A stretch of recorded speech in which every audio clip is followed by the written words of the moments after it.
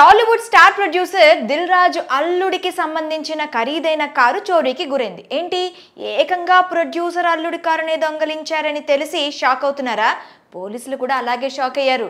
అయినా అలర్ట్ అయిపోయి చోరీకి గురైన గంట వ్యవధిలోనే కారు జాడను గుర్తించి స్వాధీనం చేసుకున్నారు. ప్రస్తుతం ఈ వీడియో ఇండస్ట్రీ వర్గాల్లో హాట్ టాపిక్గా మారింది.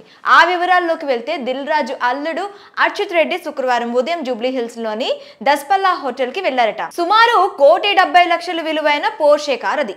ఆ కారులో అర్చిత్ రెడ్డి దస్పల్లా హోటల్కి వెళ్ళారని తెలిసింది. అక్కడికి వెళ్ళాక కారు పక్కన పెట్టి హోటల్ లోపలికి వెళ్ళి పని చేసుకొని వచ్చేలోపు కారు కనిపించలేదట.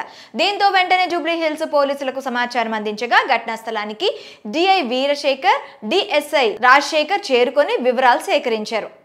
వెంటనే తమ సిబ్బందిని అలర్ట్ చేసి సీసీ కెమెరా ఫుటేజ్ చెక్ చేశారు. కేబీఆర్ పార్క్ వైపు ట్రాఫిక్ పోలీసులను అప్రమత్తం చేసి కారును స్వాధీనం చేసుకుని నిందితుడిని అదుపులోకి తీసుకున్నారు. అనంతరం నిందితుడి గురించి ఆరా తీగా తాను ఆకాష్ అంబానీని మీట్ అవ్వడానికి వెళ్తున్నట్లు చెప్పాడట. తాను ఆకాష్ అంబానీ పర్సనల్ అసిస్టెంట్ అని హృతిక్ రోషన్ కలిసి కేటీఆర్ కారు తీసుకొని వెళ్ళాలని తనకు సూచించినట్లు చెప్పుకొచ్చాడు.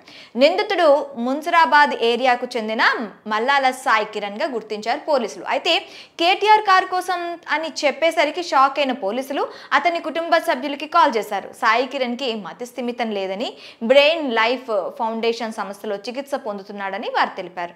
మరి దీనిపై మీ అభిప్రాయం ఏంటో కామెంట్లో తెలపండి.